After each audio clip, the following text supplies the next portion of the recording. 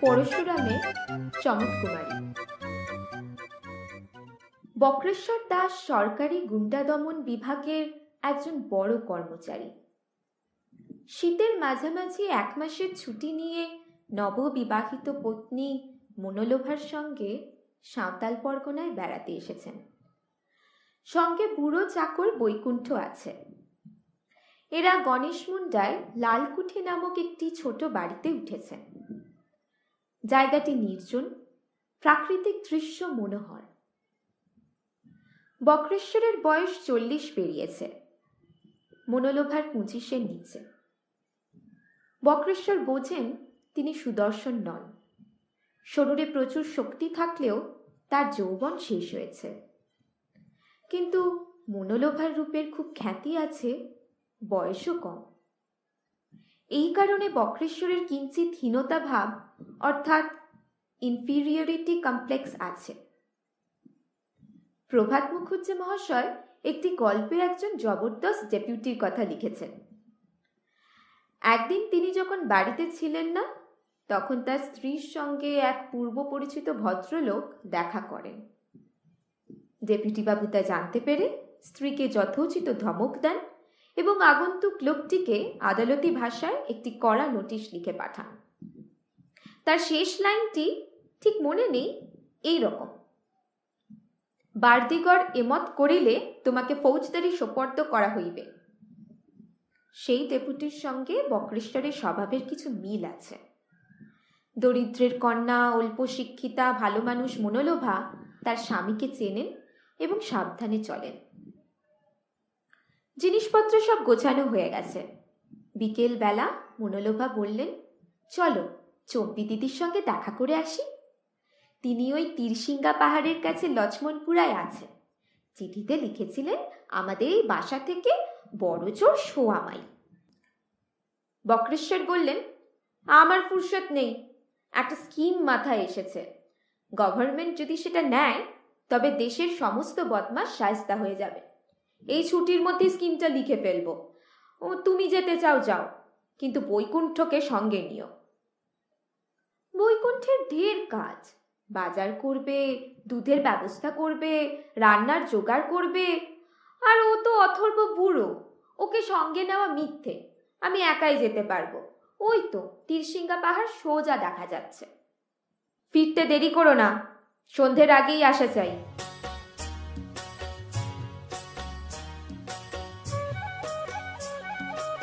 লক্ষ্মণপুরায় পৌঁছে মনোলোভা তার চম্পি দিদির সঙ্গে অফুরন্ত গল্প করলেন।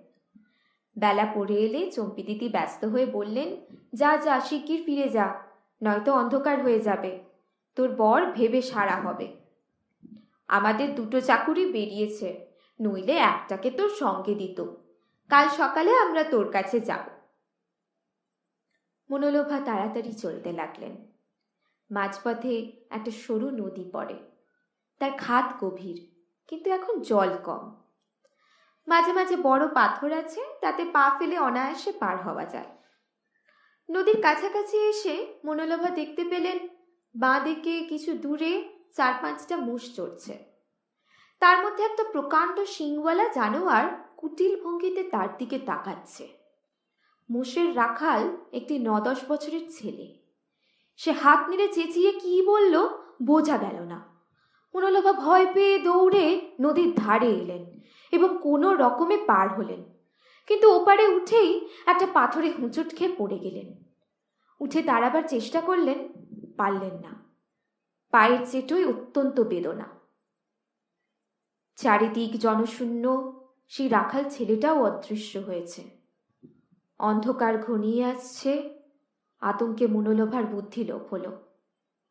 হঠাৎ তার কানে এলো, এ কি, পড়ে গেলেন নাকি? লম্বা লম্বা পা ফেলে যিনি এগিয়ে এলেন, তিনি একজন বুড়স্ক বৃষ্কন্দ পুরুষ, পরনে ইজার হাঁটু পর্যন্ত আঁচকান, তার উপর একটা নকশাদার শালের ফতুয়া, মাথায় লোমশ ভেড়ার চামড়ার আস্ত্রাকান টুপি। মনোলোভার দুই হাত ধরে টানতে টানতে আগন্তুক বললেন, হেই ও, উঠে পড়ুন। পারছেন না, খুব লেগেছে। দেখি কোথায় লাগল? হাত পা গুটিয়ে নিয়ে মনোলোভা বললেন, ও আর দেখবেন কি, পা মুচকে গেছে, তার আবার শক্তি নেই। আপনি দয়া করে যদি একটা পালকি টালকি জোগাড় করে দেন, তো বড়ই উপকার হয়। খেপেছেন? এখানে পালকি তানজাম চতুর্দোলা কিছুই মিলবে না। স্ট্রেচারও নয়। আপনি কোথায় থাকেন? গণেশ মুন্ডায় লালকুঠিতে? আপনারাই বুঝি আজ সকালে পৌঁছেছেন? আমি আপনার পায়ে একটু ম্যাসাজ করে দিচ্ছি, তাতে ব্যথা কমবে। তারপর আমার হাতে ভর দিয়ে আস্তে আস্তে হেঁটে বাড়ি ফিরতে পারবেন। যদি মোচকে গিয়ে থাকে, চুন হলুদ লাগালেই চট করে সেরে যাবে। বিব্রত হয়ে মনোলভা বললেন, না না, আমাকে ম্যাসাজ করতে হবে না। হেঁটে যাবার শক্তি আমার নেই। আপনি দয়া করে আমাদের বাসায় গিয়ে মিস্টার বি দাসকে খবর দিন, তিনি নিয়ে যাবার যা হয় ব্যবস্থা করবেন। পাগল হয়েছেন। এখান থেকে গিয়ে খবর দেব, তারপর দাসমশাই চেয়ারে বাঁশ বেঁধে লোকজন নিয়ে আসবেন। তার মানে অন্তত পঁয়তাল্লিশ মিনিট? ততক্ষণ আপনি এই অন্ধকারে, এই শীতে একা পড়ে থাকবেন তা হতেই পারে না। বিপদের সময় সংকোচ করবেন না। আপনাকে আমি পাঁজা কোলা করে নিয়ে যাচ্ছি। কি যা তা বলছেন? কেন? আমি পারব না ভেবেছেন? আমি কে তা জানেন? গগন চাঁদ চক্কর, গ্রেট মারাঠা সার্কাসের স্ট্রং ম্যান না না, আমি মারাঠি নই, বাঙালি বারেন্দ্র ব্রাহ্মণ। চক্রবর্তী পদবিটা ছেটে চক্কর করেছি। সম্প্রতি টাকার অভাবে সার্কাস বন্ধ ছিল, তাই এখানে আসবার ফুরসত পেয়েছি। আজ সকালে আমাদের ম্যানেজার সাপুরজির চিঠি পেয়েছি। সব ঠিক হয়ে গেছে। দু হপ্তার মধ্যে তোমরা পুনরায় চলে এসো। জানেন, আমার বুকের ওপর দিয়ে হাতি চলে যায়। দুহন্দর বারবেল আমি বন বন করে ঘোরাতে পারি। আপনার এই শিঙি মাছের মতন একরত্তি শরীর আমি বইতে পারব না। খবরদার, ওসব হবে না। কেন বলুন তো? আপনি কি ভেবেছেন? আমি রাবণ আর আপনি সীতা। আপনাকে হরণ করতে এসেছি। আপনাকে আমি বয়ে নিয়ে গেলে আপনার কলঙ্ক হবে, লোকে ছিছি করবে। আমার স্বামী পছন্দ করবেন না। কি অদ্ভুত কথা! অমন রামচন্দ্রী স্বামী জুটালেন কোথা থেকে? বিপদের সময় নাচার হয়ে আপনাকে যদি বয়ে নিয়ে যাই তাতে আপত্তির কি আছে? আপনার কর্তা বুঝি মনে করবেন আমার ওপর আপনার অনুরাগ জন্মেছে। আমার স্পর্শে আপনি পুলকিত হয়েছেন। এই তো। একবার ভালো করে আমার মুখখানা দেখুন তো। আকর্ষণের কিছু আছে কি? পকেট থেকে প্রকাণ্ড টর্চ বার করে গগনচাঁদ নিজের শ্রীহীন মুখের ওপর আলো ফেললেন। তারপর বললেন, দেখুন, লোকে আমার মুখ দেখতে সার্কাসে আসে না। শুধু গায়ের জোরই দেখে।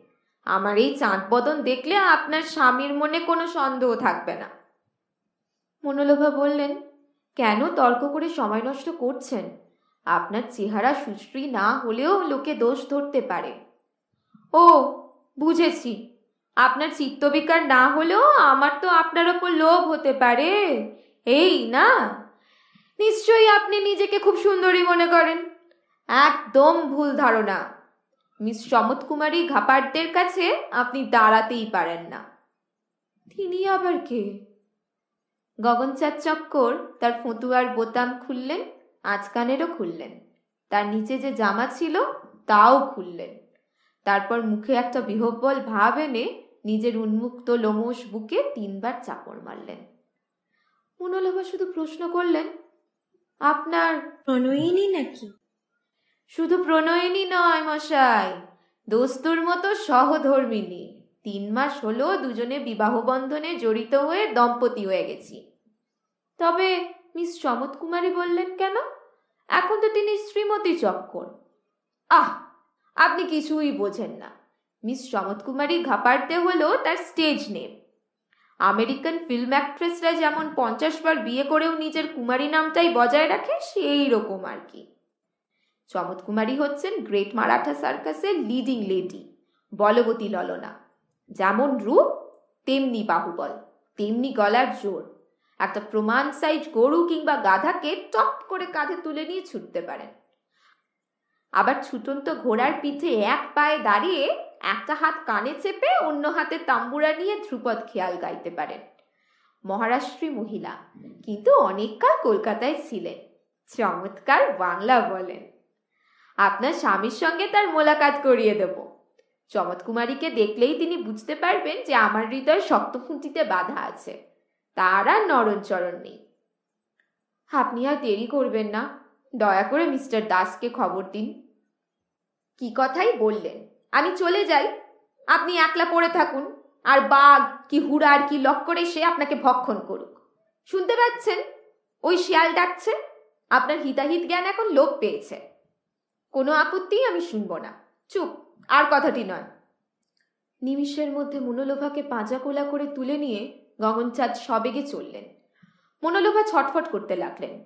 গগনচাঁদ বললেন, খবরদার হাত পা ছুঁড়বেন না, তাহলে পড়ে যাবেন। কোমর ভাঙবে পাঁচরা ভাঙবে।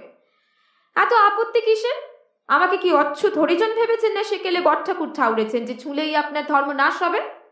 মনে মনে ধ্যান করুন, আপনি একটা দুরন্ত খুঁকি রাস্তায় খেলতে খেলতে আছাড় খেয়েছেন আর আমি আপনার স্নেহময়ী দিদিমা কোলে করে তুলে নিয়ে যাচ্ছি। আপত্তি নিষ্ফল জেনে মনোলোভা চুপ করে আড়ষ্ট হয়ে রইলেন। গগনচাঁদ হাতের মুঠোয় টর্চ টিপে পথে আলো ফেলতে ফেলতে চললেন।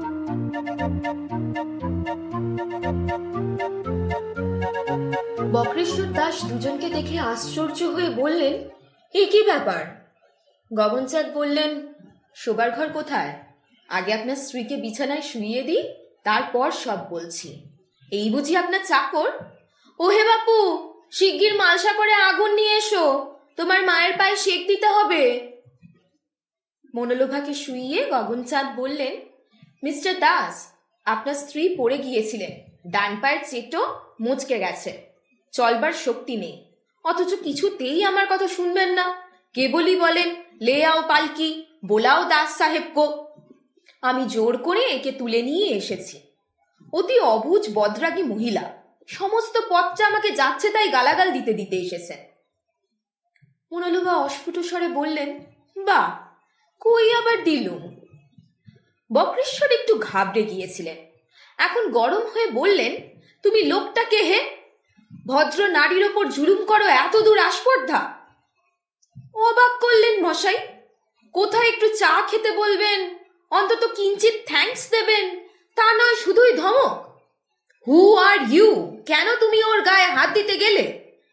আরে মশাই, ওকে যদি নিয়ে না আসতুম, তাহলে যে এতক্ষণ বাঘের পেটে হজম হয়ে যেতেন। আপনাকে যে আবার একটা গিন্নির জোগাড় দেখতে হতো। চোপড়াও বদমাস কোথাকার।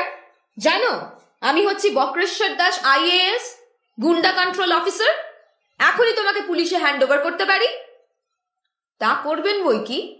স্ত্রী যন্ত্রণায় ছটফট করছেন, সেদিকে হুঁশ নেই, শুধু আমার ওপর তম্বি। মুখ সামলে কথা কইবেন মশাই, নইলে আমিও রেগে উঠব।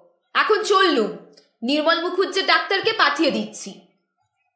বক্রেশ্বর তেড়ে এসে গগনচাঁদের পিঠে হাত দিয়ে ঠেলতে ঠেলতে বললেন, আভি নিকালো? গগনচাঁদ বেগে চলতে লাগলেন, বক্রেশ্বর পিছু পিছু গেলেন। কিছুদূর গিয়ে গগনচাঁদ বললেন, লড়তে চান? আপনার স্ত্রী একটু সুস্থ হয়ে উঠুন, তারপর লড়বেন। যদি সবুর করতে না পারেন, তো কাল সকালে আসতে পারি। বক্রেশ্বর বললেন, কাল কেন? এখনই তোকে সায়স্তা করে দিচ্ছি। জানিস, আমি একজন মিডল ওয়েট চ্যাম্পিয়ন এই নে, দেখি কেমন সামলাতে পারিস। গগনচাঁদ ক্ষিপ্র গতিতে সরে গিয়ে ঘুষি থেকে আত্মরক্ষা করলেন এবং বক্রেশ্বরের পায়ের গুলিতে ছোট একটি লাথি মারলেন। সঙ্গে সঙ্গে বক্রেশ্বর ধরাশায়ী হলেন। গগনচাঁদ বললেন কি হলো দাসমশাই উঠতে পারছেন না? পা মুচকে গেছে? বেশ, যা হোক, কর্তা গিন্নির এক হাল। ভাববেন না, আপনাকে তুলে নিয়ে গিন্নির পাশে শুইয়ে দিচ্ছি। তারপর ডাক্তার এসে চিকিৎসার ব্যবস্থা করবে। বক্রেশ্বর বললেন ড্যাম ইউ গেট আউট ইহাসে। ও, আমার কোলে উঠবেন না? আচ্ছা চললুম, আর কাউকে পাঠিয়ে দিচ্ছি। বক্রেশ্বর বেশ শক্তিমান পুরুষ। ভাবতেই পারেননি যে ওই বদমাস গুন্ডাটা তার প্রচণ্ড ঘুষি এড়িয়ে তাকেই কাবু করে দেবে। শুধু ডান পায়ের চেটো মচকায়নি, তার কাঁধও একটু থেতলে গেছে। তিনি ক্ষীণ কণ্ঠে ডাকতে লাগলেন, বৈকুণ্ঠ? ও বৈকুণ্ঠ!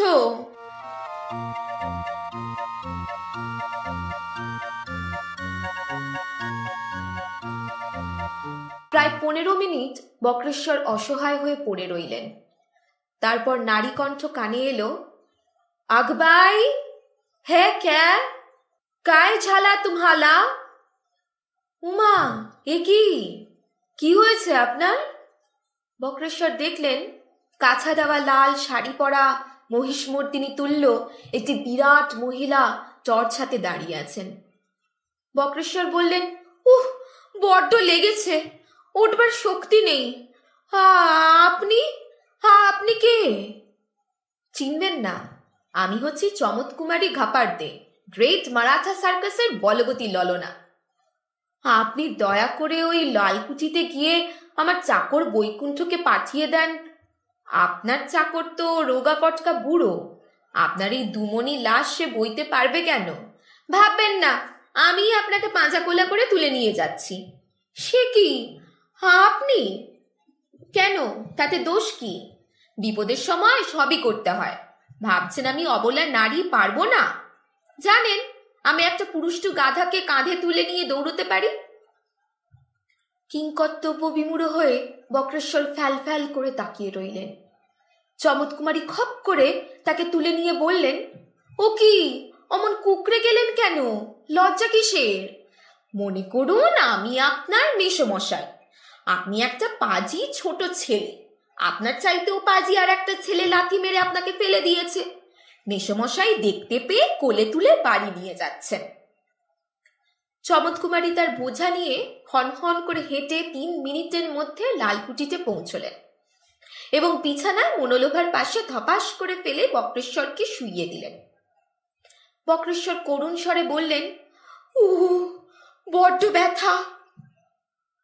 জানো মনু, হোঁচট খেয়ে পড়ে গিয়েছিল। ইনি আমাকে বাঁচিয়েছেন। গ্রেট মারাঠা সার্কাসের strong lady miss Chamatkumari Khapar দে অনুলোভা অবাক হয়ে দুহাত তুলে নমস্কার করলেন। নির্মল ডাক্তার তার কম্পাউন্ডারকে নিয়ে এসে পড়লেন। স্বামী স্ত্রীকে পরীক্ষা করে ডাক্তার বললেন, ও কিছু নয়, দুজনেরই পায়ে একটু স্প্রেন হয়েছে। একটা লোশন দিচ্ছি, তাতেই সেরে যাবে। তিন চার দিন চলাফেরা করবেন না, মাঝে মাঝে নুনের পুঁটলি শেক দেবেন। মিস্টার দাসের কাঁধে একটা ওষুধ লাগিয়ে ড্রেস করে দিচ্ছি। যথা কর্তব্য করে ডাক্তার আর কম্পাউন্ডার চলে গেলেন। চমৎকুমারী বললেন, আপনাদের চাকর একা সামলাতে পারবে না। আমি আপনাদের খাওয়া দাবার ব্যবস্থা করে তারপর যাব। বক্রেশ্বর করজোরে বললেন, আপনি করুণাময়ী, যে উপকার করলেন তা জীবনে ভুলব না। মনোলোভা মনে মনে বললেন, তা ভুলবে কেন? ওই গোদা হাতের জাপটা নিচে প্রাণী সুশুরি দিয়েছে। যত দোষ বেচারা গগন চাঁদে। বক্রেশ্বর বললেন, ডাক্তারবাবুর কাছে শুনলাম, আপনার স্বামী মিস্টার চক্করও এখানে আছেন। কাল বিকেলে আপনারা দুজনে দয়া করে এখানে যদি চা খান, তো কৃতার্থ হব। আমার এক শালি কাছেই থাকেন। তাকে কাল আনাবো। তিনিই সব ব্যবস্থা করবেন। আমার তো আর চলবার শক্তি নেই। নয়তো নিজে গিয়ে আপনাদের আসবার জন্য বলতুম। চমৎকুমারী বললেন, কাল যে আমরা তিন দিনের জন্য রাঁচি যাচ্ছি, শনিবার ফিরব। রবিবার বিকালে আমাদের বাসায় একটা সামান্য টি পার্টির ব্যবস্থা করেছি। চক্করের বন্ধু হোম মিনিস্টার শ্রী মহাবীর প্রসাদ, দুমকার ম্যাজিস্ট্রেট খাস্তাগির সাহেব গিরিডির মার্চেন্ট সর্দার গুরমুখ সিং এরা সবাই আসবেন আপনারা দুজনে দয়া করে এলে খুব খুশি হব। কোনো কষ্ট হবে না। একটা গাড়ি পাঠিয়ে দেব। আসবেন তো? বক্রেশ্বর বললেন নিশ্চয় নিশ্চয় মনোলোভা মনে মনে বললেন, হেই মা কালী, রক্ষা করো।